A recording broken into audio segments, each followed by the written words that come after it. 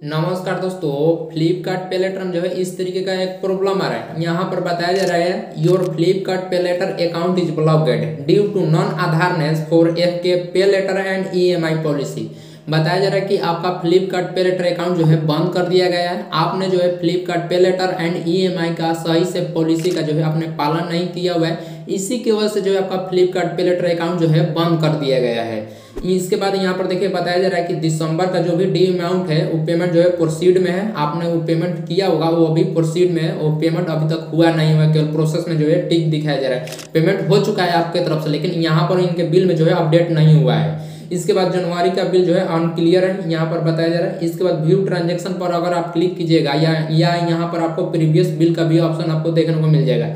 यहाँ पर आप क्लिक कीजिएगा तो यहाँ पर आप चेक कर सकते हैं कि आपने जो है फ्लिपकार्ट पे लेटर का पैसा जो है कब जमा किया हुआ है, कब आपने फ्लिपकार्ट पे लेटर अमाउंट जो है यूज़ किया हुआ है, किन प्रोडक्ट जो है खरीदने के लिए। आप यहाँ से जो है चेक कर लीजिएगा। लेकिन अगर आपने फ्लिपकार्ट पे लेटर का जो है टाइम पे पेमेंट कर रहे हैं, इसके बावजूद भी आपका जो है फ्लिपकार्ट पे लेटर का अकाउंट बंद हो बंद हो चुका है तो आपको फ्लिपकार्ट पे लेटर अकाउंट को जो है अनब्लॉक कैसे कराना है, चलिए आइए आज की इस नए वीडियो में जानते हैं। हंड्रेड अकाउंट आपका जो है अनब्लॉक हो जाएगा। तो सो फ्रेंड, मेरा नाम है विशाल कुमार। आप देख रहे हैं प्यारा चैनल। बारमाटे चैनल पर नया आए तो ज़रूर से चैनल को सब्सक्राइब कीजिएगा।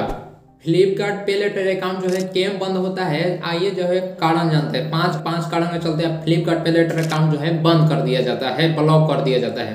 तो पहला कारण है over due and late payment अगर आपका फ्लिपकार्ट से शॉपिंग करते हैं तो शॉपिंग कर देने के बाद एक तरीके देखिए जो है बिल जनरेट होता है। तो पाँच तारीख से पहले आपको जो है पेमेंट करना होता है। मान लीजिए आपने फ्लिपकार्ट पे लेटर अमाउंट का जो है बैलेंस आपने यूज़ किया जैसे कि फॉर एग्ज़ाम्पल आपको पंद्रह हज़ार पे लेटर का जो है लिमिट मिला हुआ है। तो आपने जो है इस मंथ जो है, आपने एक हज़ार रुपये जो है खर्च किया हुआ है पे लेटर का बैलेंस तो एक हज़ार खर्च किया है एक तरीके जो है बिल जनरेट हुआ तो उसमें जो है आपने केवल एक हज़ार रुपये जो है पे किया।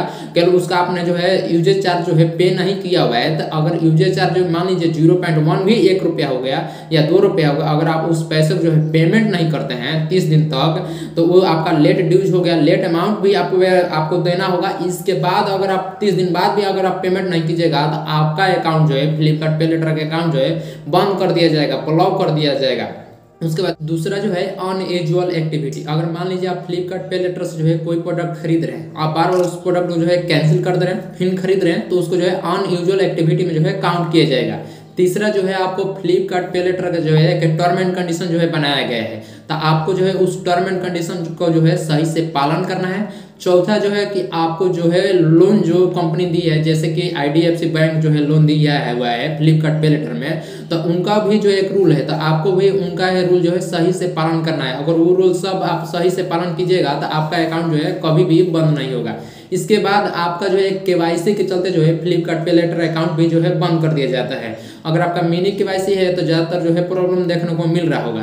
तो देखिए ऐसे आप चेक कर सकते हैं कि आपका केवाईसी केवाईसी के चलते बंद हुआ है या नहीं। तो आप लोग जो है फ्लिपकार्ट ओपन कर लीजिएगा। ओपन कर देने के बाद आपको अकाउंट वाला ऑप्शन पर जो है क्लिक कीजिएगा। इसके बाद फ्लिपकार्ट पे लेटर वाला ऑप्शन पर जो है क्लिक कीजिएगा।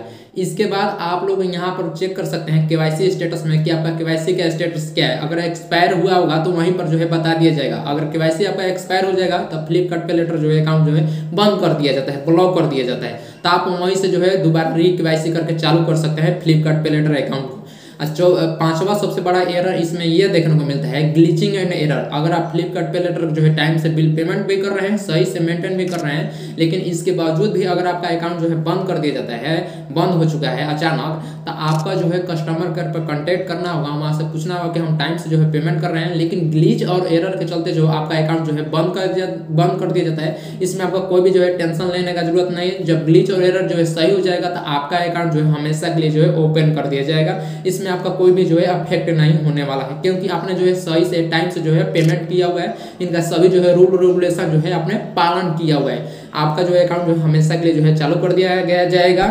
फ्लिपकार्ट का पे लेटर अकाउंट जो है बंद हो चुका है ब्लॉक हो चुका है तो कैसे अनब्लॉक कराएँ हंड्रेड परसेंट आपका अकाउंट जो है चालू हो जाएगा इस वीडियो को देखने के बाद यहाँ से। तो आपको सबसे पहले देखिए कॉल या मेल जो है करना होगा।